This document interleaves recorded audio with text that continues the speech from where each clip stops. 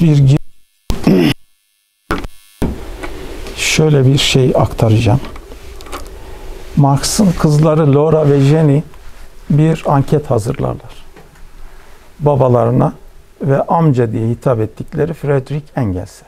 Derler ki biz bu anket sorularını hazırladık. Bunlara cevap verin. En şey şekil, doğru şekilde. Bizi konumuz itibariyle Marx ilgilendiriyor. Çok uzun çünkü yani Engels'inki de oraya da girersek çok uzun. Şimdi Marx'a diyorlar ki konumuzda direkt alakası yok ama hepinizin gülümseyeceğinden eminim. En sevdiğin yemek balık diyor. Balığı çok seven bir şey. Peki en nefret ettiğin zaaf itaatkarlık. En büyük mutluluk nedir? Mücadele etmektir. En büyük mutsuzluk nedir? Boyun eğmektir. Hayattaki düsturun nedir? Marx'a sorulan sorulardan biri. İnsani olan hiçbir şey bana yabancı değildir. Ee, onun dışında bir önemli daha şey var. Ee, mottonuz, temel ilkeniz nedir? diye sordukları zaman kızları Marx'a her şeyden kuşkudur. Bu benim düsturum, mottomdur diyor. Peki en çok sevdiğiniz tarihsel kahraman? Marx tereddütsüz şu cevabı verdi. Spartaküs. Şimdi bunun üzerinde biraz durmamız gerekecek. Spartaküs kim? Bir Trakya kökenli gladyatör köle. Roma İmparatorluğu'nda imparatorluğa köleci sisteme baş kaldırmış. İki sene içerisinde 30 bin, 35 bin kişilik bir köle ordusuyla Jules Caesar'ın savaş makinesi olan ordusuna kafa tutmuş. iki defada yenmiş. Roma ordusu, imparatorluk ordusunu. Bu bizi şunun için ilgilendiriyor. Şimdi bir karşı kültür dedik ya. Karşı kültür bir de egemen kültür. Bence e, insanlık tarihi egemen kültürle e, karşı kültürün arasındaki o derin yarılmanın yüz, yüzlerce yıldır milyonlarca insan hayatına mal olmuş bir mücadele şeklinde sürüyor. E, egemen kültür e, baş kaldırıldığı zaman şeyde e, Roma İmparatorluğu'nda e, şey tarafından Spartaküs tarafından onlar açlar, köleler onları eğlendirmek için, mutlu etmek için ölümüne dövüşüyorlar gladyatörler. Diğerleri de mesela Jules Caesar'ın da müthiş bir refah, e, tüketim ve lüks ihtişam içerisinde yaşadığı gerçeği var. O da kölelerin savaş ganimetlerinden gelen gelirle, şeyle, e, toplanan vergilerle adamın en büyük e, şeyi genç kalmak, e, güzel gözükmek, yakışıklı olmak. Onun için diyorlar ki yani yaşlanmayı geciktirmek için sana bir önerimiz var. Yarasayı e, öldür e, bir altın kaseye koyuyorlar kanını. O kanlı yüzüne sürüyor. Böyle bir lüks ve ihtişam içerisinde. Bu egemen kültür. Bir de karşı kültür. İşte Spartaküs bu karşı kültürün temsilcisi. Bizi şeye kadar geleceğiz yani. Ta e, 60'lara kadar geleceğiz. Buradan egemen kültürün 1939-45 bir İkinci Dünya Savaşı'nda 60 milyon insanın ölümüne sebep oluşunun 1950 53 Kore Savaşı'nda 3 milyon insanın ölümüne sebep oluşunu ve 1945 75 13 milyon Vietnamlının hayatını kaybetmesine, Amerikalılarınkini, Fransızlarınkini, Japonlarınkini saymıyorum. Bu karşı kültürle egemen kültürün çatışma tezahürü olarak gözümüze batıyor. Şimdi buradan biz e, 1955-60'a gelmek zorundayız. Hızlı geçiyorum kusura bakmayın. Yani yüzeysel olma eleştirisini baştan kabul ediyorum. Çünkü zaman problemimiz var. Ee, 1950-55 döneminde Beat hareketi çıkıyor. Bunların en önemli üç ismi William Brooks, Jacques Kerouac ve şair Allen Ginsberg. Bunlar şiir yazıyorlar, roman yazıyorlar e, eleştirilerini çok açık dille sert bir şekilde cepheden bir karşı kültür e, oluşturma koordinatlarını da yaratarak, üreterek ABD'ye kafa tutuyorlar. Henüz Vietnam Savaşı başlamış değil ama Kore Savaşı'nın 1950-53 arasında 3 milyon insanın ölümüne sebep olan Türkiye'den de 10 18 milyon insanın ne işi varsa Kore'de gönderildiği ve 18 18 bin insanın öldüğü 712'sinin de hala şimdiye kadar bulunamadığı kayıpla geri dönüyor geliyor Türkiye. Kore Savaşı'nda. Ee, Çin, Çinlilerin 600 bin, Korelilerin 500 bin, Amerikalıların 500 bin, toplam 3 milyon insanın şeyine patlıyor. Sebep şu, Amerika kafa tutuyor. Kuzey Kore ile Güney Kore didişiyorlar politik sebeplerle. O oraya gidiyor. Domino teorisi. Kuzey Kore komünist, Güney Kore'yi yenerse oradan Laos, oradan Kamboçya, oradan böyle şey şeklinde gider. Dünya komünizme e, şey olur. E, onu engellemek için müdahale edince Çin sen ne akla müdahale edersin diyor. Çin de müdahale oluyor ve Kore Savaşı çıkıyor. Kore Savaşı'ndan sonra e, Amerika toplumu ilk travmasını yaşıyor. İkinci Dünya Savaşı'nda 60 milyon insan ölüyor ama Amerika doğrudan savaşın içerisinde değil. Avrupa kıtasında oluyor savaş çünkü. O süre içerisinde Avrupa yıkılıyor, ekonomiler mahvoluyor. Amerika ekonomisini savaş e, sebebiyle bir e, şeye e, sokmuyor, sıkıntıya sokmuyor. Zenginleşiyor, refah artıyor.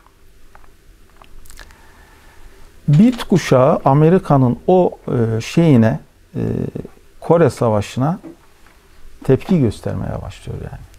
Sizin ne işiniz vardı orada diye. Bunlar ne biçim devlet politikası diye. İlk çıkışları biraz da böyle oluyor. Amerika'nın dayattığı yaşam biçimine, değerlere, düşünme, muhakeme etme, hayal kurma, her şeye kafa tutarak bir karşı kültür geliştiriyorlar. Bunların e, yani kimdir bunlar? Siz söyledim. Başkaları da var. Daha epeyce insan var.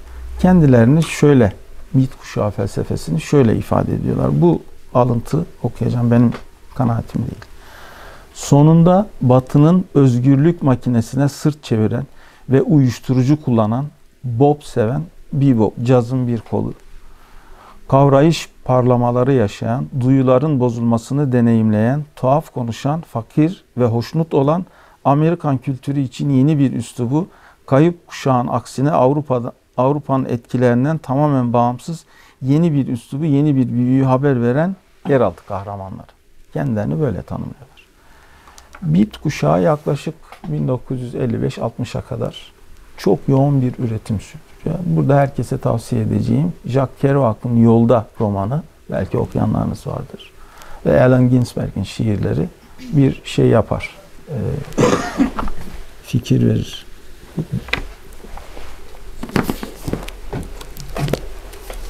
Bunların şiirleri nasıldır işte.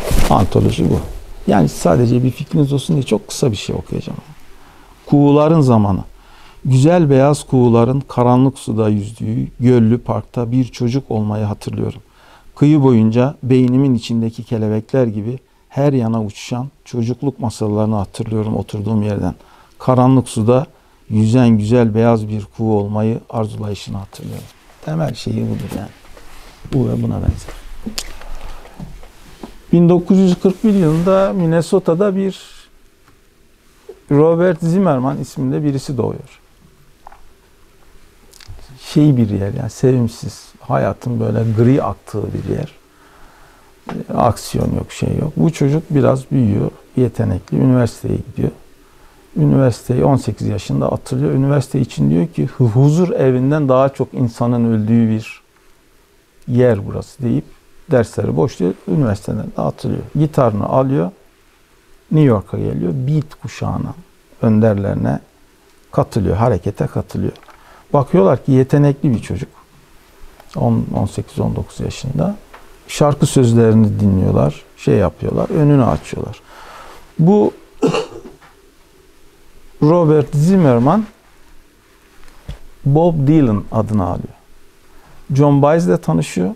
John Baez bunun önünü açıyor ve 1962 yılında ilk albümü çıkıyor. Adı Bob Dylan.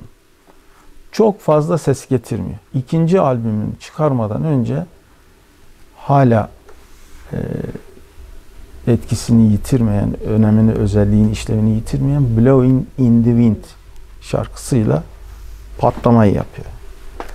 Blowing in the Wind'i şimdi dinleyeceğiz ama bir bir bir dakika Burçak iki şey anlatacağım Blowing in the Wind ile ilgili. Bu şarkı sözlerini, bu şarkının sözlerini Türkiye'de ilk defa Can Yücel çeviriyor. 1965 Türkiye İşçi Partisi seçimlerinde sosyalizm adına konuşurken e, Cebeci e, şeyinde, mitinginde mitingin konuşmasını Blowing in the Wind sözleriyle bitiriyor. Şimdi ben hareketin aynısını yapmayayım ama hepimizin bildiği el kol hareketini yapıp size böyle geçireceğiz işte diyerek bitiriyor mitingi. Can Yücel'i tanıyanlar bilir ağzı çok korkunç bozuk bir insandır. Küfürbaz. Ben Hataylıyım. Küfrün menbaından gelirim ama Can Yücel'e Hatay ulaşamaz yani. Öyle bir tip yani. Ee, 1980 yılında askeri darbe olduktan sonra Orta Doğu Teknik Üniversitesi'nde öğrenciler gerçekten bir hak talebinde bulunuyorlar. Jandarma geliyor ve öğrencilere dağılın diyor. Kardeşim diyorlar yani bizim okulla ilgili rektörden bir talebimiz var. Siz niye geliyorsunuz? Süngüler, dipçikler falan dağılmayacağız diyorlar. Ulan komünist vatan hainleri siz halem adam olmadınız, sizin ananızı avradınız diye girişiyorlar dipçiklerle. Tekmelerle, postallarla. Olayın içerisinde olan arkadaş anlattı. Hep beraber çöküyorlar, ıslık çalıyorlar. Biz ıslık çalıyorlar. Bunlar daha kuduruyorlar yani ne, neyi çalıyor? 1 Mayıs değil. Yani 1 Mayıs marşı değil çalınan ıslık. Bildik sol şeyler değil, e, şarkıların melodisi değil. Bulamıyorlar bir türlü. Blowing in the Wind çal. Islıkla. Kendiliğinden oluşuyor. Arkadaş anlattı. ÖTK'nın e, yani öğrenci temsilciliği kurumunun bilirsin Katoş. E, şeyi e, onun 80'deki başkanıydı. Tarık Topçu diye bir arkadaş anlatmıştı. Şimdi parçayı isterseniz buyurun dinleyelim. Blowing in the Wind. Dün daha Radyo 3'te dinledim. TRT Radyo 3'te. Zaten benim listemde de var. Öyle mi? Zamansız müzikler onlar. Bir de bir şey söyleyeyim lütfen. Singers. Hemen bana müdahale edebilirsiniz. Yani bekleyelim. Soru sorma vakti evet soru faslına geçelim falan değil. Ne zaman isterseniz ne aklınızdan geçiyorsa sansürsüz lütfen sorun. Ne biliyorsan paylaşın. For Freedom Singers.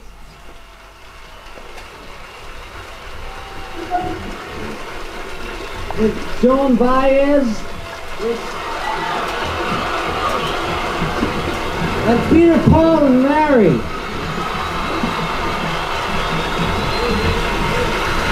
We're going to sing Blowing in the Wind.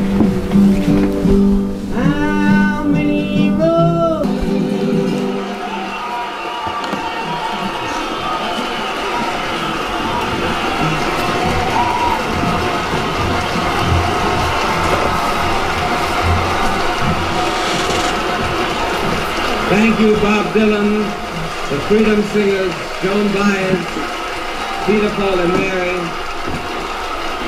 There will be singing through the night in the town. Murat abi adını niye değiştiriyor? Onun hikayesi var mı? Var. Ee, Dylan Thomas'tan, şair Dylan Thomas'tan çok etkileniyor. Dylan'ı oradan alıyor. Ee, Bob'u da daha pratik olduğu için yani Robert Dylan. Bob Dylan'la Evet. kafiyeli gibi bir şey. kafiyeli gibi oluyor.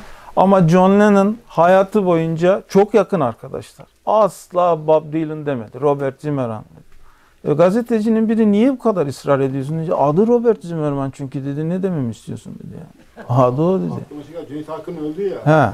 Fahrettin Şey- Cürekli. belediye başkanı Fahrettin diye anlatıyordu Evet. programlarda. E, adı Cürekli Batur. tanımış. Evet. Fahrettin diye tanımış. Evet. Zimmerman da Yahudi kökenli isimlere benziyor. Yahudi zaten. Şimdi anlatacağım. Hemşerimiz. Yani e, büyük büyük babası Trabzon'dan Rusya'ya gidiyor. Büyük büyük annesi Kazman'dan Amerika'ya gidiyor. Rusya'dan Amerika'ya gidiyorlar. Amerika'da aile bir biçimde işte Bob Dylan üçüncü kuşak oluyor. Yani Türk kökenli. kendi biyografisinde yazıyor. Benim şeyim değil ha yani Türk, Ermeni umurumda değil de ama Yahudi. Aile Yahudi yani. Bir de e, Amerikalılar Robert'a Bob diyor galiba. Vallahi olabilir, olabilir, olabilir. Şimdi ben hazırlığımı yaparken tabii e, her türlü ihtimali göz önüne alarak hazırlık yaptım.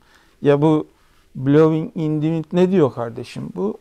Şimdi hepsini okursak dediğim gibi hakikaten süre derdimiz var. Burada yazılı. İsterseniz bir beyti okuyayım yani. Bir dağ kaç yıl var olabilir? Deniz eritene kadar. Evet, kimi insanlar kaç yıl yaşayabilir? Özgür bırakılana dek. Evet, insan başını kaç kez çevirebilir? Görüp de görmezlenerek. Cevabı dostum Esenyel'dedir. Cevabı Esenyel'dedir. Evet, kaç ölüm gerek adam dediğin çok insan öldüğünü bilene kadar. Evet, bir adamın kaç kulağı olması gerek ağlayanları duyana kadar. Cevabı dostum Esenyel'dedir. Cevabı Esenyel'dedir. Şarkının sözleri bu. Oldukça destansı, poetik yani. Zaten onun için Nobel aldı.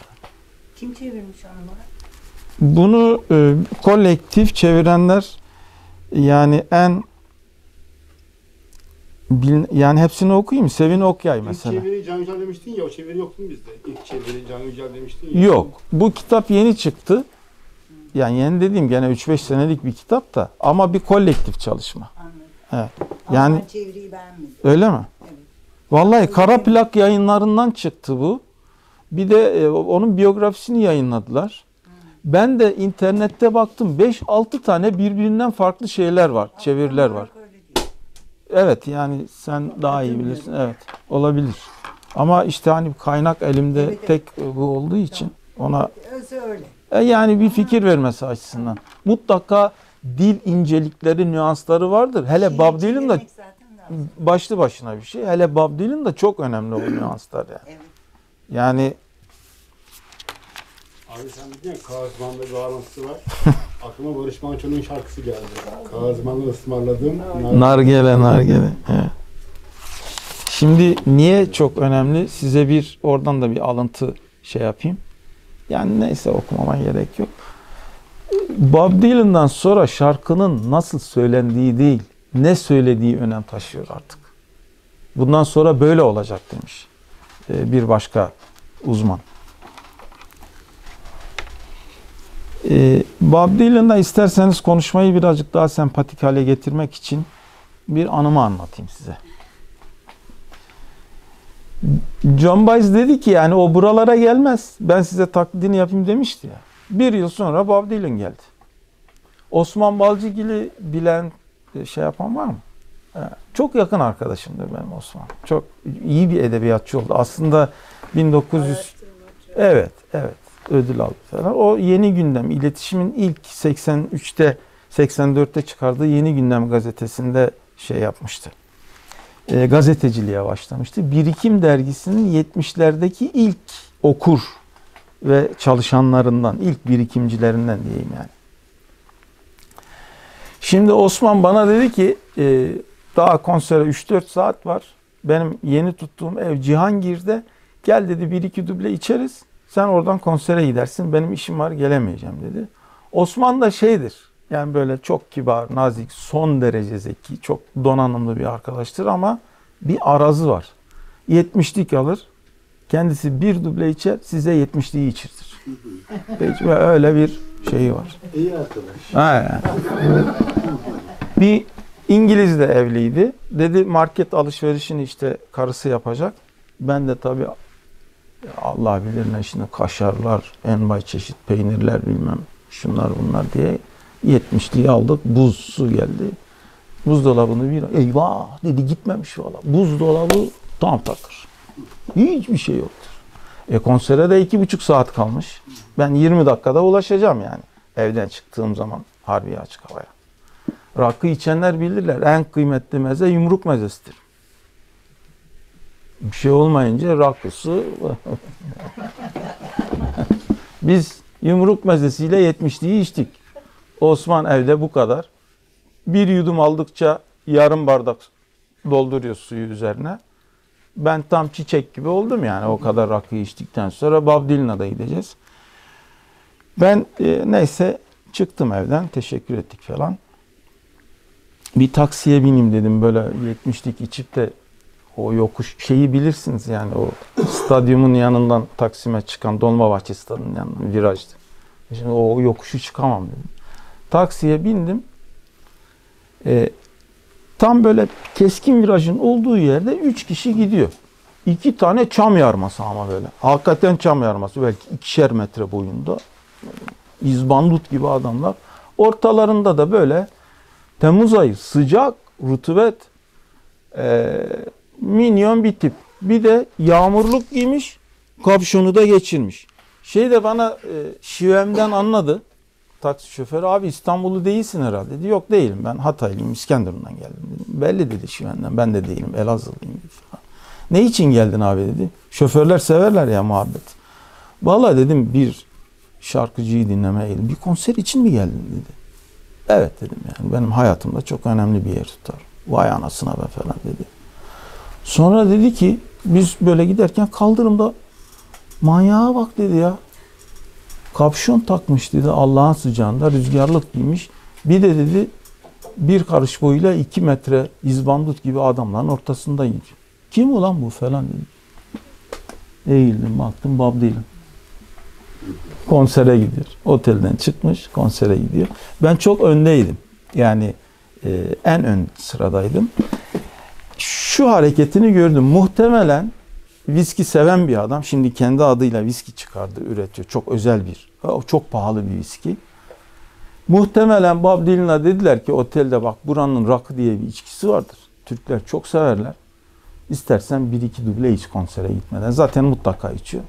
Bu da hoşuna mı gitti? Ne olduysa ya, 3-4 duble herhalde. Çünkü gitar çalarken böyle oluyordu. Yani herkes tempo tutuyor zannediyor parçayı ama ben bu mesafeden seyrettim. Sendeliyordu. Ee, ikinci anlatacağım şey şimdi İstanbul'dan önce Atina'da bir konseri vardı Bob Dylan'ın. Seyircilerle iletişim problemi yaşadığı için konserin ortasında gitarını yere fırlatıp çıkıp gitmiş. Huysuz bir adam. Ee, şey bir adam. Dik. Yani kimseye eyvallah yok. Çıkıp da konserde merhaba İstanbul falan demedi. Yani ben ben de Türk'üm falan. Çöktü çalmaya başladı. Denildi ki 75 dakika konser sürecek. İlk iki parçada flash patlayabilir. Kesinlikle kayıt yapılmayacak, fotoğraf çekilebilir. İkinci şeyden sonra, ikinci şarkıdan sonra kesinlikle istemiyor sanatçımız diye anons edildi. Herkes, hepimiz birbirimize aman kardeşim bu adam bir daha buralara gelmez. Ben ta İskenderun'dan gelmişim 1200 kilometre bunu seyretmek için. Ya lütfen riayet edelim. Herkes birbirini. Çünkü Atina'da 3 gün önce gitarı fırlatmış adam ya. Bir de hayat öyküsünü biliyoruz. Hakikaten müthiş huysuz biri. Bu parçalarına başladı. Tabi her parça bittikçe kıyamet kopuyor ya. Bir alkış tufanı şeyde Harbiye açık havada konser bitti. Ben Bob Dylan'ın okuduklarımın dışında bunların hepsini sular seller gibi ezberlemişim, seyretmişim. Yani. Her şeyi anlatıyor burada Dylan. Bu adamın tarihinde bis yapmak yazmaz. Eyvallah yok çünkü bis biliyorsunuz konser bittikten sonra çok ısrar gelirse bir iki parça daha jest olarak şey. Yine ayakta yapayım ben. Konser bitti. Selam verdi. Geçti. Biz tabii alkış malkış bilmem ne falan ama baya ya tekrar çıktı. Bu defa hiç yapmadığı bir şey yaptı. Elektro gitar çalıyordu. Klasik gitarı çaldı. Yani 1960-65 part arasındaki e, şeyine döndü. E, kesinlikle e, terk ettiği alışkanlığına döndü. Öyle meşhur olmuştu. Klasik gitarla işte Blowing in the Winter falan. Ya arkadaşlar bir şarkı, iki şarkı 45 dakika bis yaptı. Bunun tarihinde yazmaz iki şarkıdan fazlası. Valla bence de belki de rakının etkisi. Vallahi olabilir. Coşku seyircinin coşkusu bilmem ne. Ha memleketim e, o da olabilir. Ve yine onun tarihinde hiç yazmaz. Yani burada hiç kaç tane 4-5 tane evde bulduklarımı hemen getirdim. Kitaplarında da yazmaz. Seyirciyi şöyle selamladı ya. Yani tam şimdi şey yapmayayım. Sol dizini yere dayadı. Sağ elini şeye kalbine böyle kaldı bir müddet. Tabii kıyamet koptu. Zaten Türkler duygusal insanlarız. Yani orada bulunan insanlar işte Türk, Ermeni neyse Türkiye'de yaşayanlar. Çok şey oldu yani duygulu bir ortam oldu. Sonra teşekkür etti gitti. E şimdi sen elini verdin kolunu kaptırdın Bob Dylan. Bu sefer minderler havalara atılmaya başladı. We want Bob, we want Bob. 8 bin kişilik bir koro. Neyse bir 15 dakika bağırıp çağırdık gelmedi yani. Sonra ben Taksim Sanat Evi'nde arkadaşım bekliyordu. Oraya gittim. Ulan dedi İstanbul'u çınlattınız bu ne dedi ya. Dedim bana öyle bir 70'lik içmiş mi? Rakı ver bana. Sonra bir gazeteci arkadaş geldi. O da bir röportaj koparırım diye Bob Dylan'ın peşinden gitmiş. E Bob Dylan gökten melek inse röportaj vermeyen bir adam sevmiyor yani böyle şey mizaç olarak sevmiyor. Allah öyle yaratmış ne diyelim yani. Bana dedi ki siz we want Bob, we want Bob diye bağırırken Bob Dylan duş alıyordu. Biz de harbi açık havada bağırıp çağırıyoruz. Bob'u tekrar isteriz diye. O sonra uçağa binerken gazeteleri getirin bana diyor. Gazeteleri veriyorlar. Yani hakkımda konserle ilgili acaba Türk gazeteleri medyası ne yazmış diye. O gazetenin birinde şu kadar bir haber. Bob Dylan işte İstanbul'u fethetti. Bu kadar bir haber. Müslüm ortalığı yıktı geçti. Müslüm Gürses'in o parkın adı neydi İstanbul'daki ya? Parkı. Yok. Şey- Gülhane Gülhane. Gülhane Parkı'ndaki konser. Bu Ben kim de- demiş? Ben de ona gitmiştim abi. Öyle. Ferdi ya bak. Bugün oradaydım yani. Bu adam kim kardeşim diyor ya. Ben dünya starıyım. Bana bu kadar yer verilmiş. Bu kim? Bunun bana CD'lerini Amerika'ya hemen yollayın. Uçağa. Bindi gitti gidiş o gidiş yani. Evet. Şimdi e, şeyden sonra e, Bob Dylan'dan sonra artık unutulmaz isim John Baez'e geçebiliriz. John Baez de Bob Dylan'la aynı tarihte 1941'de doğdu. Ben John Baez'le ilgili bir özetin özeti çıkarmaya kalktım. Sonra sesli okudum. Bana iki buçuk saatte ancak bitti. Şimdi iki buçuk saat Bob Dylan'ı anlatırsam olmaz yani. Hayatı boyunca katılmadığı haksız, e, savaş, e, ırkçılık, şiddet e, ve bütün devletlerin e, devlet çıkarı için yapmış olduğu politikaların hayata geçirilmesini ömrü boyunca karşı çıktı. Eylemlerin içerisinde bulundu. Vietnam'a kadar gitti. Vietnam Savaşı'nda ve bir Vietnam Savaşı'nı protesto eden muhteşem bir albüm çıkardı. Albümün adı Şimdi Neredesin Oğlum? Çok çünkü Vietnam Savaşı'nda Amerika'nın Vietnam'a girip yenilip o iki kişi duruyordu ya geldiğimizde. Von Nguyen Giap'la Ho Chi Minh. Onlar tarafından Vietkonglu gerillalar tarafından yenilgiye uğratılıp Amerika'nın Palas Pandras Vietnam'dan çekilmesi sırasında 2 milyon Vietnamlı ölmüştü. Tam 2 milyon ton bomba attılar Vietnam'ın üzerine. Ve bunun en az 1,5 milyon tonu napalmdı. Yakıyor. Yaktılar yani. Ormanları, pirinç tarlalarını, çocukları yaktılar. Yakaladıkları Vietkongları da yakalar yakalamaz kafalarına kurşun sıkarak. Zaten o fotoğraf vardır yani görmüşsünüzdür yani. Öldürdüler. Şey de oldu değil mi? Bir tane Budist rahip kendini yakıyor. Kendini O yaktı. dönemde Protest. Vietnam'da. Evet evet evet. Yani Vietnam Video kaydı da var. Tabii tabii video kaydı var. Amerika'nın Vietnam'a müdahil olması 1963 yılında oluyor. Ama Vietnam'ın, Vietnam halkının savaşı 1945'te Japonya'nın işgal girişimi üzerine Japonlarla savaşıyorlar. Japonlar çekiliyor. Fransızlarla savaşıyorlar. Fransızlar geliyor. Fransızlar gidiyor. Amerika geliyor. Amerika'yla savaşı sürdürüyorlar. Ve Ho Chi Minh bizim bu 1945'ten Ho Chi Minh 1969 yılında öldü. Zaferi göremedi. 1975'te zafer kazanıldı. E, 13 milyon şehit verdik. Sopası olan eline sopasını aldı. Silahı olan silahını aldı. Kazması olan kazmasını aldı. Biz savaşı böyle kazandık. Fransızlar yendiği savaşı anlatıyor. Amerikalılarla henüz savaş devam ederken e, Ho Chi Minh 1969 yılında ölüyor. Wo Nguyen Giap komutayı ele alıyor. E, 1968 kuşağı değerin peşinde olduğun şey kadardır mottosuna göre bütün dünyada Vietnam halkına karşı korkunç bir kampanya başlatıyor. O korkunç kampanyada önce Amerika'nın sahtekarlığı ve ikiyüzlülüğü ortaya çıkıyor. Biz oraya barış götürüyoruz, komünizmin gelmesini engelliyoruz derken yaptığı katliamların fotoğraflarını belgeleriyle gösteriyorlar. Özellikle de My Lai katliamı. My Lai katliamında Orada Çoluk çocuk. bir yıl sonra, bir yıl sonra fotoğraflarla. Evet, evet. Bir yıl sonra çıkıyor. Ee, Amerikan toplumu sorgulamaya başlıyor. Çünkü sorgulanan başka şeyler de var. 68'ler bir şeyi daha ispat ediyorlar.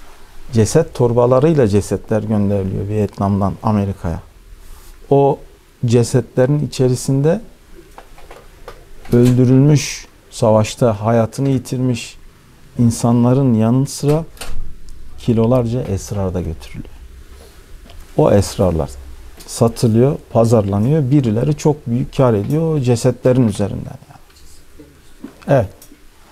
68'ler bunu da kanıtladılar, gösterdiler. Şimdi 68 Vietnam Savaşı dediğimiz zaman el mahkum John Baez. Ee, şimdi John Baez'den bir şarkı dinleyeceğiz. Fakat ben şarkının size ayağını kararak anlatayım.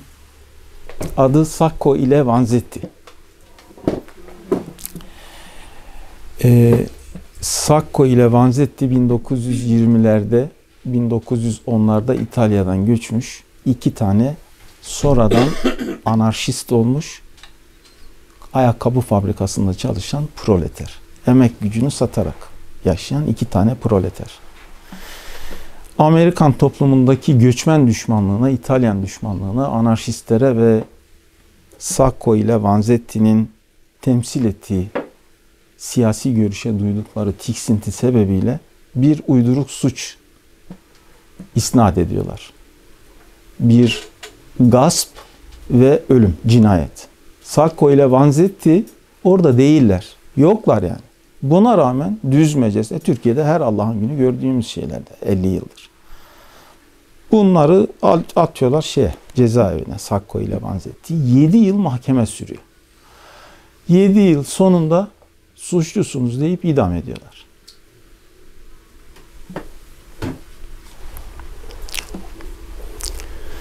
...50 yıl sonra da itiraf ediyorlar. Sacco ile Vanzetti suçsuzdu.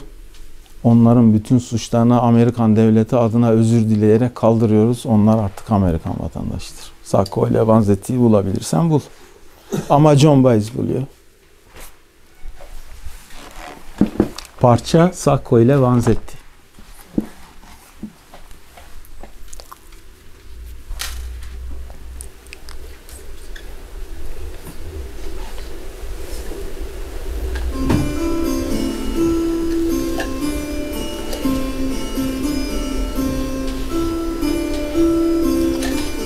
Fotoğraflar onlar.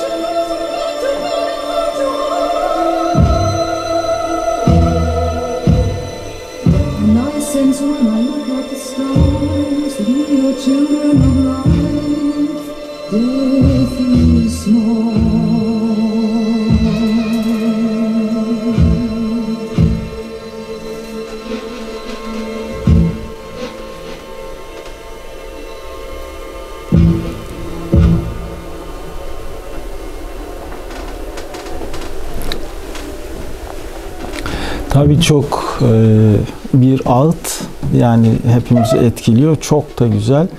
E, e John Baez'in ses şeyi 3 oktav. O 3 oktavı olduğu gibi kullanıyor burada yani fark ettiyseniz iniş çıkışlarla şeylerle parçayı bambaşka bir yere alıp götürüyor. Parçanın öyküsü zaten insanı perişan ediyor. Şimdi e, Bob Dylan'la devam edelim. Biko parçasını seçtim. E, isterseniz Biko ile ilgili kısaca bir bilgi vereyim. Bu insanlarla ilgili Sacco ile Vanzetti ve e, Biko ile ilgili bilgi verirken oturmayı kendi adıma saygısızlık adettiğim için onlara olan saygımdan dolayı ayağa kalkıyorum. Steve Biko Güney Afrika'daki ırkçı beyaz azınlığın diktatörlüğüne karşı baş kaldıran ve e, bunun için mücadele başlatan Mandela'nın yakın dostu, yakın arkadaşı. Mandela cezaevine düşüyor. 13 yıldır yatıyor. 27 yıl yattı zaten de. 13. yılında Biko e, kendini bu mücadeleye adamış bir insan. Irk ayrımına karşı adamış bir militan. Hukukçu aynı zamanda. E, Soweto şehrinde 1976 yılında ırkçılığa karşı ortaokul öğrencileri ve lise öğrencilerinin yapmış olduğu bir protesto gösterisine beyaz ırkçı hükümetin polisi ateş açıyor. 700 çocuk öldürülüyor. 700 çocuğun ölümü Güney Afrika'da zencilerin ayaklanmasına sebep oluyor. Bütün bu şeyde olaylar patlıyor. Silahsız ve sivil itaatsiz mücadeleyi savunan Steve Biko çok öne çıkıyor. Devlet 1977 yılında Biko'nun tepesine çöküyor. Onu bir kimlik kontrolünde yakalıyorlar. Adın ne? Saklamıyor. Biko diyor. Steve Biko. Sen şu bizim aradığımız evet benim diyor. İn aşağı. Hiçbir suç işlemedim diyor. Neye istinaden alıyorsunuz? İn aşağı. Yani. Bunun anasını ağlatıyorlar. Yani işkence, işkence, işkence, dayak hücrede, hapis cezası bilmem ne falan. En son artık uluslararası kampanyalar yüzünden beyaz azınlıkçı BOTA denilen katil soytarının yani ırkçı yönetimin Güney Afrika Devlet Başkanı çaresiz kalıyor. Ya adam ölecek işkenceden. Yani şey vaziyette. Tamam diyor tedavi ettirelim ona göre şey yaparız. Ee, tedavi raporunun sonucuna göre hareket ederiz. Tamam diyor tedavi ettirin diyor dışarıdan gelen e, baskı sonucu e, Biko'yu takip eden e, tıp dünyası ve sosyalistler, devrimciler ırk e, ayrımına karşı çıkan insanlar ve tabi 68'ler tamam diyorlar. Doktora gönderelim yapılsın. Peki kamyoneti getirin getiriyorlar. Bunlar BOTA'nın talimatıyla oluyor. Daha iyi anlamanız için söyleyeyim. Olay burada oluyor. Biko'nun doktora götürülmesi için Kars'a gönderiliyor. 1700 kilometre uzaktaki bir hastanede tedavisi yapılacak diyorlar. Adam ölüyor. Öyle talimat böyle geldi. Çıplak bedeni bir kamyonetin arkasına konuluyor. 1700 kilometrelik yolculuktan bütün o sarsıntı. Zaten kafatası perişan edilmiş. Kafasına çok darbe almış. Biko ölüyor. Dayanamıyor ölüyor. İşte Steve Biko şimdi bu parçada John Baez anlatıyor ama parçayı yapan Peter Gabriel esas Genesis grubunun lideri. Ama yani ikisini de dinledim fakat John Baez başka söylüyor yani. Onun için aldım yani parçayı. Daha İstanbul'da da söylemişti bu şarkıyı. Çok güzel okumuştu seyirciyle beraber yani. Eşlik etmişti 8 bin kişi. Şimdi buradan devam edelim. Ee, önce şeyi söyleyeyim. Konserde yani yaklaşık 7-8 bin kişiydik John Baez'de de. 1988 yılı bir Temmuz akşamı. Yani sanki böyle birisi arkadaşlar şimdi şu şarkıda Biko şarkısında hep beraber ellerimizi birleştireceğiz ve bu şekilde 8 bin kişi. İnanın kimse öyle bir şey söylemedi. Birdenbire eller havaya kalktı. Şey şarkıyı söylerken şarkıya başladı. O böyle e, orkestrayla değil gitarına vurarak başladı. Tele vuruyor yani şöyle. Gitarına vuruyor tellerine. Ve birdenbire 8 bin kişilik o şey seyirci Biko'yu söylemeye başladı. Böyle eller birleşmiş vaziyette yani. John Baez neye uğradığını şaşırdı yani. Hakikaten neye uğradığını şaşırdı. Hemen Asim Bonanga diye bir parçaya girdi. Asim Bonanga'da cezaevinde olan e, o zaman işte 10 13 77 23-24 senedir cezaevinde olan Nelson Mandela için yapılmış bir şarkı. Asim Bonanga zaten e, Güney Afrika'daki siyahi halkın ona taktığı bir lakap. Sempatik, sevimli bir lakap. Asim Bonanga. Yani böyle baba, önder, lider falan türü bir şey. Şimdi e, o parçayı dinleyeceğiz. Yüreğimizi dağladın ama Vallahi ben de gerçekten ben de haşat olmuş vaziyetteyim ama söz verdik.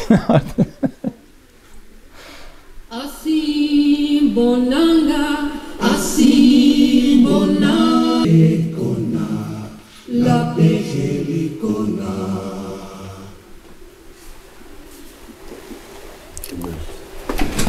Şimdi e, John Baez'e bu muhteşem parçalarından sonra veda ediyoruz şeyden dolayı. Yani daha konuşacak ve dinleyecek John çok şey. Ben bir katkı yapmak isterim. Tabii, tabii, tabii. Benim program var Sakat Muhabbet biliyorsunuz. Evet. Tam 23 Şubat'ta bir ay önce Judith Heyman diye bir kadının hayatını anlattık orada. Çünkü bir sene önce 4 Mart'ta ölmüştü. Evet. Sakat hakları aktivisti. 77 yılı aynı yıl sakatlar bir şeyde bir şimdi şeyde Chicago değil de böyle San Francisco'da devlet dairesini işgal ediyorlar. Bizim hayatımıza bir şey yapmıyorsunuz diye ve bir ay orada kalıyorlar. Bir ay boyunca. Evet. Birçok başka ilde de yapıyorlar bunu ama hepsi dağılıyor. Bir tek onlar kalıyor. Dördüncü günü Ülkemin daha 20 yaşında bir genç bir kadın orada. Diyorlar ki kalan sakatlara. Çünkü hepsi kör var, sağır var, de sandalyeli var, felç var. Hepsi oradalar. Diyor ki herkes bırak biz kaldık. Biraz da dayanırsak diyor olacak bu iş. Ne diyorsunuz diyor. Herkes şey diyor orada. Biz kalalım. İlk defa hayatımızda özgürüz diyorlar orada o binanın içinde. Sonra bir tane çocuk alıyor gitarını We Shall Overcome'u çalmaya başlıyor. Evet. John Baez'in şarkısı. Sonra kör bir kız şarkıyı söylüyor. Hep beraber söylüyorlar orada 77 yılı. John Baez deyince aklıma da geldi. Biz onu programda onu çaldık zaten bunu da söyledik. Şimdi şarkı We Shall, e, We Shall Overcome kazanacağız demek. Yani mutlaka kazanacağız e, Türkçesi. Parça aslında John Baez'in de idolü, ikonu ve çok büyük esin kaynağı olan Peter Seeger'ın. John Pete Seeger. E, yani Pit e, telaffuz kaçabilir. Ondan önceki kuşağın. Bob Dylan'a döneceğiz şimdi tekrar. Bob Dylan da Woody Guthrie'den çok etkilenmiş. Woody Guthrie e, sahneye bir gitarla çıkar. Hep o gitarı çaldı ömrü boyunca. Gitarda da şöyle bir plaka vardır. Plakada bu makine faşistleri öldürür yazısıyla çıkar. Bütün konserlerini o gitarla verdi yani. Şimdi e, biz Bob Dylan'dan Like a Rolling Stone diye bir parçaya şey yapacağız. Ben parçayla ilgili size önemini niye seçtiğimi söyleyeyim. E, parçada Rolling Stone geçiyor. Rolling Stones grubuyla bir alakası yoktur. Önce o bir. İki, 1967 yılında Rolling Stone diye bir rock, jazz ve popüler müzik, pop müzik dergisi çıkıyor Amerika'da. Hala çıkıyor. Yani 67'den günümüze kadar. Ee, bu dergi her böyle 5-10 yılda bir şeyler yapar, sıralamalar yapar, anketler yapar işte. En iyi 100 şarkıcı, en iyi 100 rock davulcusu, en iyi caz sanatçısı, en iyi bilmem işte şeyler diye. Bu çok ciddi hazırlanır. Öyle masa başında değil yani. Aylarca. Ee, Like a Rolling Stone tüm zamanların en güzel 500 şarkısı içerisinde 2004 ve 2010 yılları arasında bir numaraydı. Şimdi onu dinleyeceğiz.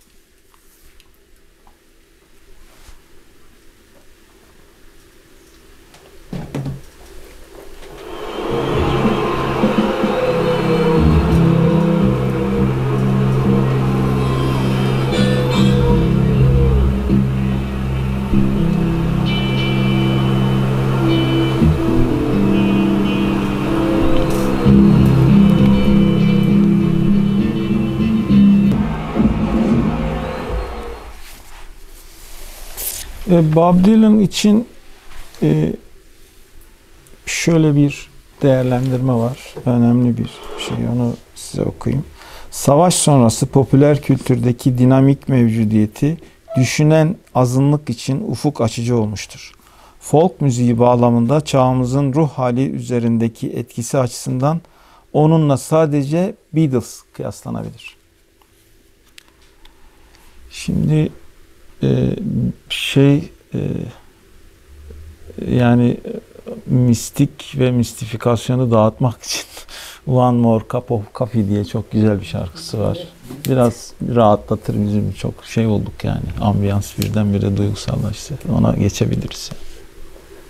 Allah'tan rakı servisi yapmıyoruz yani. Vallahi rakı, tekila artık ne içeceğiz Allah bilir. Midemizde yumruk zaten. Vallahi.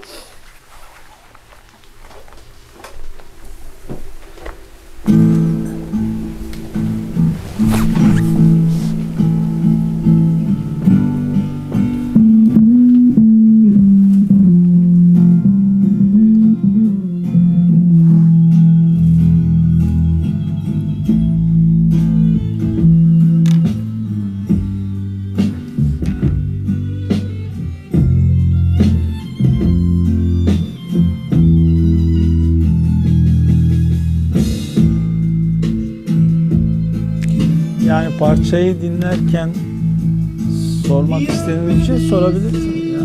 Yani.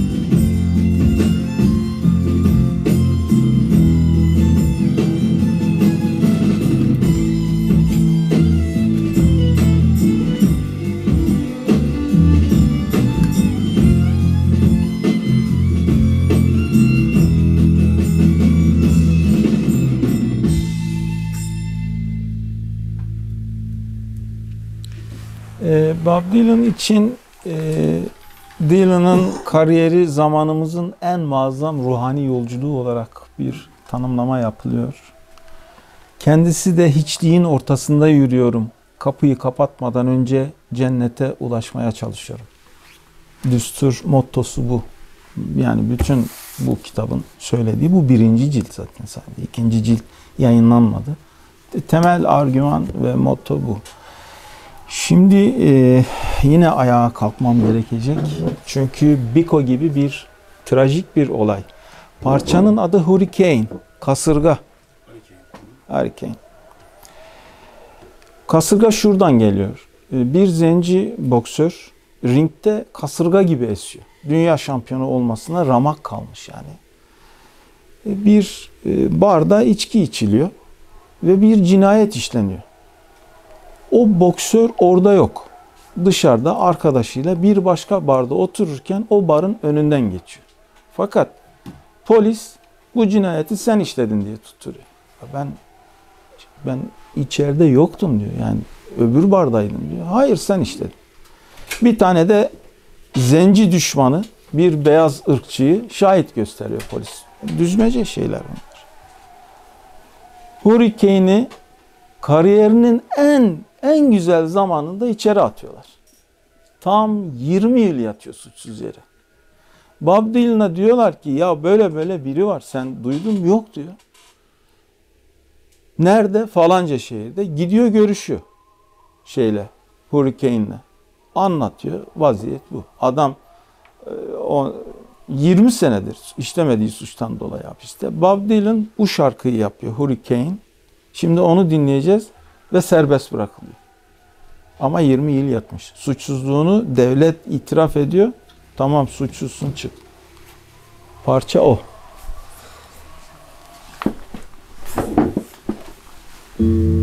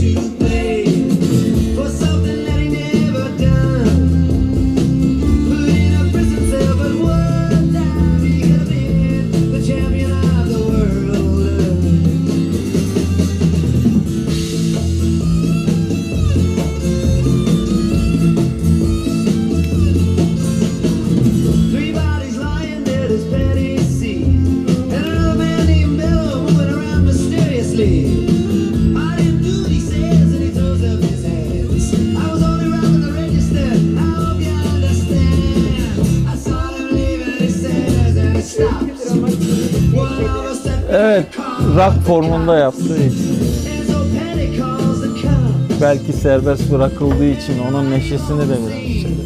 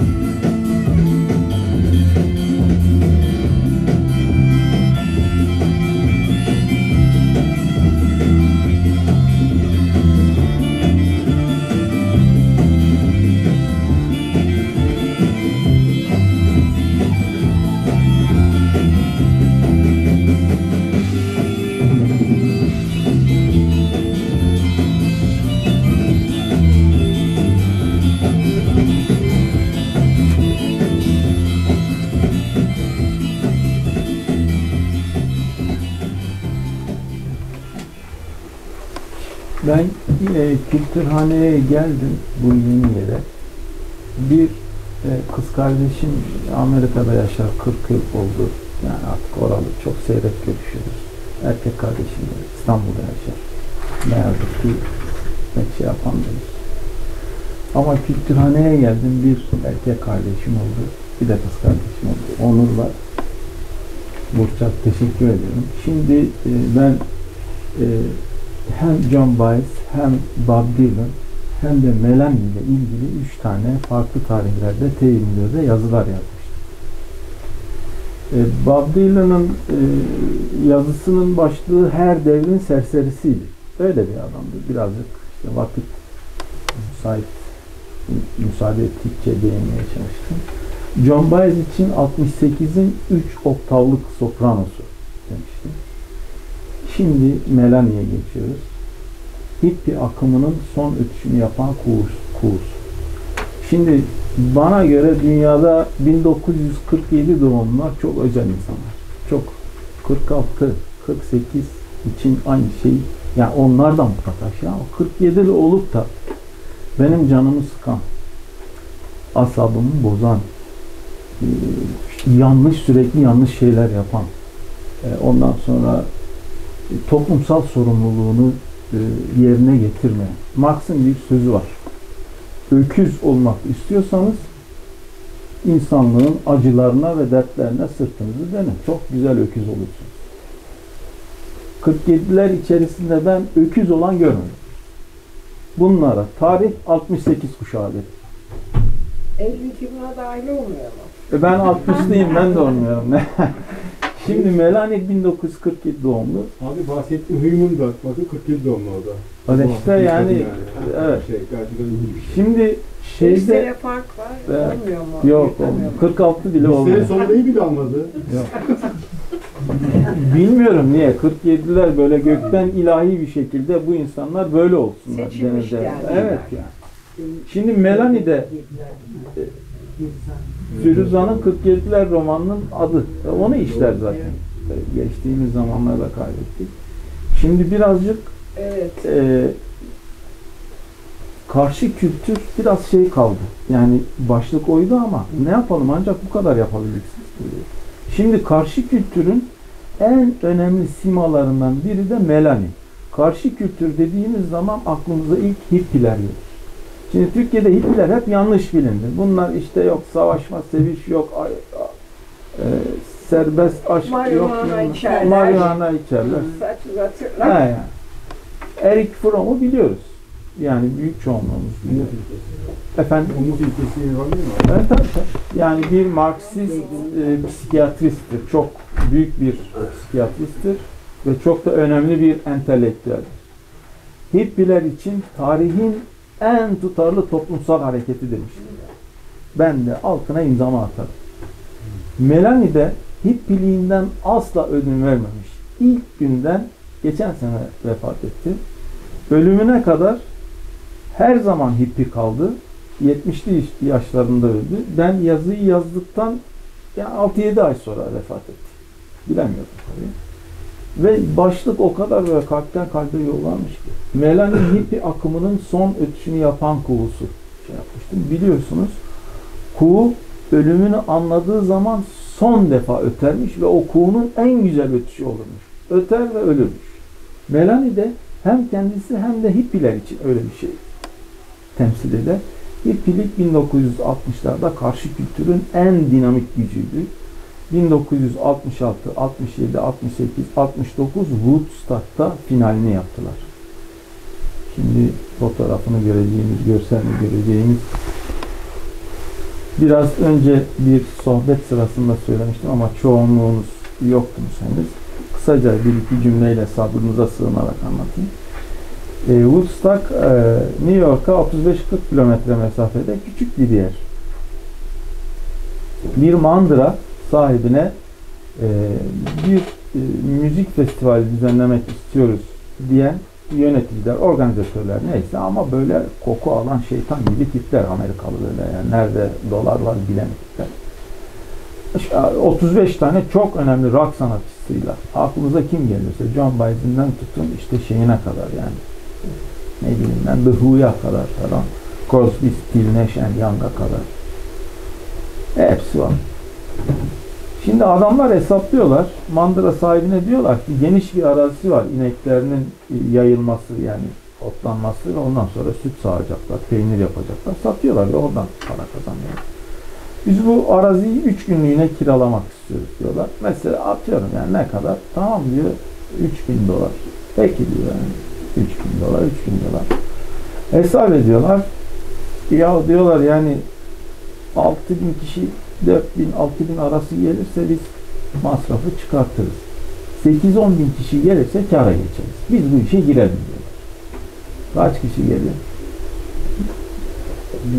500 bin kişi gelir. 3 gün, 3 gece 500 bin kişi alandan ayrılmadan konser, konserleri izliyorlar. Woodstock onun için efsanedir. Onun için çok önemli. Şimdi Woodstock'ın ayrı bir başlık açmak lazım ama biz e, Woodstock'ta çok şahane bir performans sergileyen Melanie ile iki şarkısıyla şey yapalım. Biri Ruby Tuesday. Onu dinleyelim. Evet. Çok güzel söyler. Aslında Rolling Stones'un şarkısı ama Melanie bir başka söylüyor. She would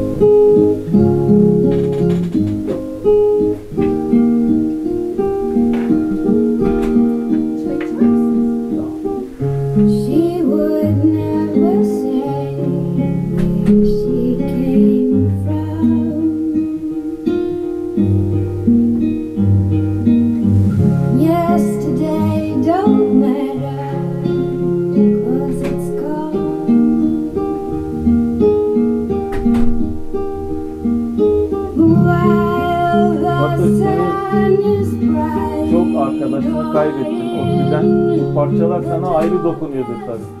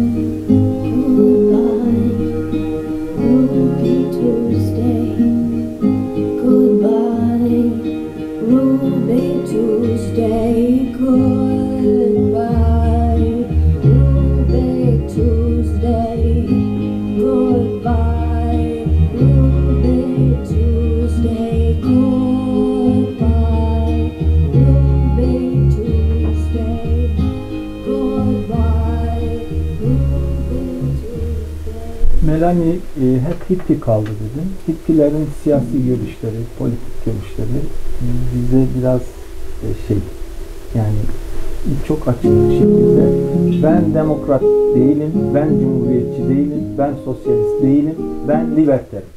Kendini böyle tanımlıyor. Özgürlükçü yani. Evet. Woodstock için de şunu söylüyor Melanie. Aynen okuyorum. Woodstock hayat değiştiren bir deneyimdir. İnsanlarla gerçekten bir bağlılık hissettim. İçimde pozitif bir dalga ve insan gücünün aktığını hissettim ve bunu asla unutamam. O sahneye çıktığımda beden dışı bir deneyim yaşadım. Bedenimi terk ettim. Hiçbir şey duymadım. Orada değildim ve vücudumun üzerinde süzülüyordum ve bir anda kendimle yeniden bir olduğumu hissettim. İçinde bulunduğum olağanüstü bir durum. Şimdi e, ben e, 576 yazında bir arkadaşımla e, Hatay'dan Arsuz diye bir sayfiye yeri vardır oranın buranın şeyi Kız Kalesi diye. Tartışıyorduk yani işte bunları devgençlik, teakkuk, teknik, teakkuk falan. E, bu arkadaş devrimci yol sempatizanıydı. Ben biraz daha liberter çizgide konuşuyordum. O da daha Marksist Leninist bir çizgide konuşuyordu. Ama birbirimizi hem çok severdik hem çok sayardık yani. Sonra bir biçimde e, yollarımız ayrıldı şey anlamda yani hayat gailesi işte okuldu, işti bilmem neydi yıllarca birbirimizi göremedik. Aradan 3-4 yıl geçti. Antakya'da böyle bir şeye bir yere yetişmek için hızlı hızlı yürüyorum yani. Bir evrak bir yere imzalatacağım. Oradan başka yere yetiştireceğim. Ee, arkadaşlar burada ki bu şeyi o arkadaşıma adıyorum. Böyle hızlı hızlı yürürken dönmem icap etti. Döndüm. Duvarda böyle böyle posterler. Ahmet devrimci yol seni hiç unutmayacak. Polis barikatında tek kurşunla alnından vurularak öldürülmüş. Ona atıyorum. Şimdi ben sözümü bitirdim. O ismi neydi abi Ahmet'in? Ahmet'in soy ismini ben o zaman da sormadım. Şimdi de bilmiyorum. O zamanki devrimci ilişkiler içerisinde bu tür sorular çok sorulmazdı. Nerelisin, Alevi misin, Kürt müsün, soyadın ne, ne iş yaparsın, neredesin? Polis Sorulmaz. misin değil misin gibi anlaşılıyordu. O dönemin şeyinde herhalde. Evet, yani insanlar biraz daha şeydi o konuda. Çekimsel. Hassaslı. Evet, hassastı. O alanlara pek sorulmaz. Değil. Şimdi konuşmak, söz söylemek isteyen misafirlerimiz buyursunlar. Soru sormak da dahil. Çok teşekkür Rica ediyorum. ederim. Çok Evet. güzel. Tamam. Emeğinize sağlık. Ee, sağ olun. E şimdi biz bunu Onur ve Burçak'la e, şey yaptık. Onun çok büyük emeği var Burçak'ın. Bu şeyi dört hafta olarak planladık. Çok iyi oldu. Ee, Alper'in de katkısı çok. Ee, bundan sonraki Beatles, Rolling Stones, The Doors, Kings, Psychedelic Rock, Progressive Rock yine karşı kültür. Yani şimdi tam giremedik. Ancak bu kadar girebiliyoruz. Artık dört haftaya yayacağız. Çare yok yani. Ondan sonra e, Grateful Dead, e, Kings'i saydım. Kim var ben istersen şey. Ha şey ya sende liste var. Evet, bilgisayarda mı? Ben uçağa göndermiştim oradan bakıyorum. Ha ha evet ya çok oynamadık o Tabii birer hafta ara verelim. Birer hafta evet yani iki haftada bir olacak. Bir de bir şey söyleyelim. Buyurun. Şarkıları bu kadar uzun tutmasak hani birazcık izleyip çünkü konuşmaya şey kalmıyor, vakit İşte- kalmıyor. E, çok haklısınız onu düşündük. Yani Arkadaşlardan da şarkıları tamamen dinlemek gibi bir talep geldi. Aslında Bob Dylan'ın parçaları biraz uzun. Like a Rolling Stone Evet. 6 dakika sürüyor. Yani Evet. biraz şey yani e, o işte bu ilk toplantıda gelen önerileri dikkate alarak ikinciyi e, Evet. ona göre belirleyelim. yani Belki daha çok konuşmak. evet bilgi paylaşmak falan. Aslında onu Burçak da önermişti. Sen Belki- işaretler. Pardon. Alttan arkadan müzik. Sesi kısık verip sen konuş gene olabilir. Evet. Ya parça kaçıyor ama Alper ya. İşte yani o şeyde. Ya o riski de var. Abi Led Zeppelin demişiz, Evet. The Doors demişiz, Rolling Stones, Beatles, Grateful Dead, Jethro Tull, Pink Floyd. Evet. İzlemiştim. Vakti gelince anlatırım. Orayla da izleyeceğim şeyi anlatacağım. Roger Waters. Ee, Led Zeppelin'le devam edeceğiz. Ondan sonra Grateful Dead'le Progressive Rock dediğim gibi Psychedelic Rock hippie akımına daha bir gireceğiz. 1970 yılında bitirdik. Programımızı bitirdik. Ya, e, üç, üç hafta sonra yani bugün ilk hafta. Ama bu şeyi Şey değil değerlendir. mi? Hint müziği, konuştuk Ondan sonraki Fado, Belki onu bir ikinci e, dört hafta Bu- farklı evet. olarak Bence de. Kategorize etmesi daha doğru diye Şimdi düşünüyorum. şöyle e, ben yaklaşık 40 42 senedir klasik Hint müziğiyle çok yakından ilgileniyorum. Ee, Türkiye'de e, çok fazla şeyi yok. Yani nedir, neyin nesidir falan diye. Ama bilinince, öğrenince, duyulunca da çok seviliyor. Ee, bir klasik Hint müziği programı birkaç, yani en az iki hafta olabilir. Ondan Bir sonra iki Hint, bir Fado, Fado, bir Flamenco. bir de flamenco. Evet, e, şeyimiz o. Yani Aynı kategoride. Dünya müziği deriz ona. Evet. Dünya müziği diye yapabiliriz onu. Evet. Yani şeyimiz bu. Yazı biraz müzikli geçelim. Çok keyifli. Şey, teşekkür ederim. Caz Geldiğiniz için ben teşekkür yerini ederim. rock müziğe Evet, şey, Alp, Alper Evet, Alper Alper Yılmaz, Caz, evet. caz programı Evet. bitti işte bununla devam etti. Rock bizimki. Yani blues rock, folk rock e, ama şeye asla bulaşmıyorum. Heavy metal bilmem ne gibi, punk'tı bilmem neydi alakam yok onlarla yani. Tahammülüm de yok dinlemem. Ya işte şeyim yok yani benim bilmiyorum yani. Müslüm'ün Müslüm o gazetede manşet hak ettiğini anlatacağım. Ha.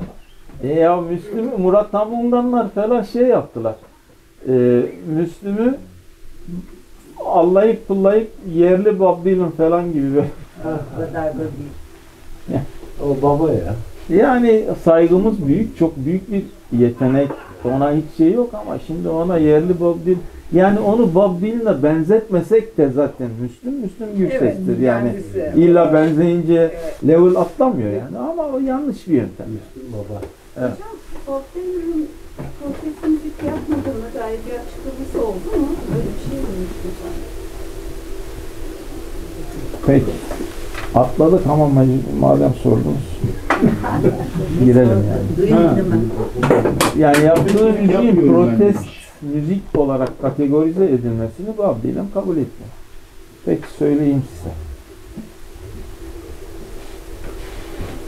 Ben Tanrı'ya hizmet ediyorum. Ben insanlar için varım, acı çeken insanlar için. Tanrı tarafından seçilmiş icracı olduğumu söylediğimde tüm kariyeri adına konuşuyorduk deniyor. Yani şey gibi, Melanie gibi onu kategorize, Melanie kendini kategorize ediyor, liberterim ben diyor. Bob Dylan bir şey demiyor. Ben şuyum, buyum demiyor. Onun için zaten her devrin serserisi demiş.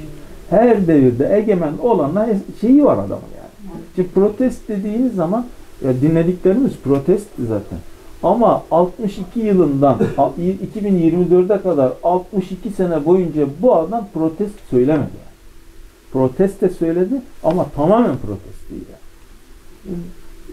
Bana deseniz ki yani sen Bob Dylan'ı okumuşsun, izlemişsin, araştırmışsın, bir de seyretmişsin. Ne dersin? Rock sanatçısı. Şair rock sanatçısı. 2016'da e, Nobel Edebiyat Ödülünü aldı. Pulitzer ödülünü aldı. Grammy aldı. Dünyada bu ödülleri alan tek insan. Yani onu şey yapamıyoruz. Ben de zaten Verilen ama kendisi gidip almadı bunları. yok yok yok. Verildi. Aha verilen Ha, ama almadı. yok yok. Eyvallah yok. Evet evet. Edebiyatı da mı alacak? Tabii Nobel Edebiyat. Ödülü Evet. 2016'da. Bayağı Tabii. tartışıldı o. Şark söz yazarı niye diye. Ondan Evet, evet. Nobel'de çıkılır bundan bundan dolayı diye zaten. Ve Nobel'de her zaman bir neden açıklıyorlar. Şöyle Tabii, bir tabii. diye. Bunlar veriyor ama almıyor. Efendim? Hayır ödüle gitmedi. Al, hayır, hayır. Almadı. Öyle mi? Ben bilmiyordum. Burnuna koymadı derler ya amiyane tabiri. Evet, evet. koymadı. Zaten ilk 15 gün Nobel heyeti Dylan'a ulaşamadı. Lan kardeşim neredesin ödül vereceğiz? Ya hiç oralı değil ya adam. Ben konserde izledim. İsteydi alırdı. Alıyordur herhalde onlar. Aldı aldı. Ödülü sonra aldı kapalı bir şeyde aldı. Basına kapalı. Yani artık 70'lik çok şey geldi. Yok yani e, Dylan'ı artık sevenleri de ayıp artık. Git al şunu falan dediler yani. Aldı paraları kıracağım. E 1 milyon euro az bir para değil. Gerçi çok zengin bir adam ama az da değil yani. E birilerine var ihtiyacı olan. Hocam kime benzetebiliriz? Yerli yani Müslüm Gürses çok aykırı oldu zaten. Onu kimle Yani da özdeşleştirebiliriz? Bana çok öznel bir çok benzetme olursa çok çok zorlamayla Fikret Kızılok'a benzetirim ben. Bizde karşılığı. Ahmet Evet. Ağa'nın evet. şiirlerini yaptığı falan. Yani, yani onun da çizgisi biraz öyledir yani. Hem protest var, hem rock var, hem folk var. Türk. Folk, Yani. folk da var. Tabii Aşık e, Veysel'in hayranıydı. Gitti Altay köyünde Aşık Veysel'le kaldı. Aşık Veysel'de pit sigara, bu dikkatli aslında. Hiç tartışmasız aynen öyle. Ama kimse de onu söylemedi şimdiye kadar. Müslüm Gürses, yerli Bob Dylan bilmem ne dediler de Veysel için kimse Pete Seeger demedi yani. Woody Guthrie demediler. Ama o ayarda bir adam. Yani. Şey de öyle. Nevşet. Aynen. Evet. Yani e, şeyde e, flamenkoda Camaro'nu anlatacağım size. Ha bahsetmiştim. Yazmıştım da. Yani o da çingene, o da çingene. Şey, Ertaş'ta. şey- Tabii canım. Camaron da çingene. E bir İspanya'da ve dünyada Neşet şey Camaron'a bakın, bir de Türkiye'de Neşet Ertaş'a bakın. Verilen değer bu. Bu Erik Fromm'un e, Erik Fromm'un Fromm. hippilerle ilgili bir, e, Evet. e, sosyolojik tanımlaması oldu. Evet. Ben orayı kaçırdım. Bunu tekrar edebilir misiniz? Tarihin en tutarlı toplumsal hareketi hippiler. Yani Ülkesi değil, yanlış söyledim. Ernst Bloch'un kitabıydı Onu ya- İlkesi Ernst Bloch. Yanlış söyledim. Fromm değildi yani. Yok yok Fromm. İşte ben söyledim de orada Ha. yanlış oldu düzeltiyorum. Ya tamam. O zaten çeviren Tanıl Bora. Biliyorum biliyorum tanım çevirdim. Tanıl çevir. Okunamıyor kitap yani o kadar kalın ki. Ama Tanıl'ın önerisi şu. Yani o çok kalın hakikaten. Baştan İki- sona ikisi de okunmaz. kalın zaten. İkisi de kalın ama bölüm bölüm okunabilir. Bir şey yok Ha, diyor bitirmen Tanıl. gerekmiyor. Ha, Yok, ha, iki üç ha, ay baştan bırak, sona. bir daha oku, Bir bir daha şey oku. Başka bölüm oku. Blok öyle. Onu da çevirmiş bir adam ya. Tam deli tanıdı yani. Vallahi öyle. Evet. Tanıl bir de bu akşam bu başlıkta yapacağım sunuma gelen misafirlere özel selamı ilet lütfen dedi. Böyle bir ortamda, böyle bir zamanda bu başlıkta yapılacak bir e, konuşma, toplantı, dinleti neyse çok değerli. Herkese benden çok selam gelir. Bizden de ona sevgiler Evet. ileriz. Abi İletirim. son buluşmada belki Zoom'dan falan bağlarız sonunda. Olur. Ya. Olur. Bitirince. Başka şeyler planlıyorum daha böyle. Organik şeyler olacak da şimdi söylemeyin. İkramiye gelmişti daha önce sana. Gör.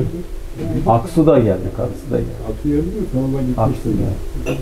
Daha başkalarını da getireceğim. Yok yok. Bu önümüzdeki dönem. Bob Dylan yine mi dedi? Ha? Bob Bob Dylan var ya seni yolda görmüştüm. Ha. Orada gelsin. Bob Dylan yaşlandı artık. Şey demeye başladı. Öyle Artık bak. Yoksa getirirdim diyorsun yani. Amerika'da üstüne çıkamaz zaten.